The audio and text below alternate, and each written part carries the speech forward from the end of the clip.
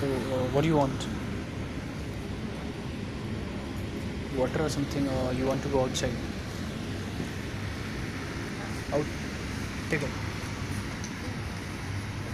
Outside uh, in fresh air, something.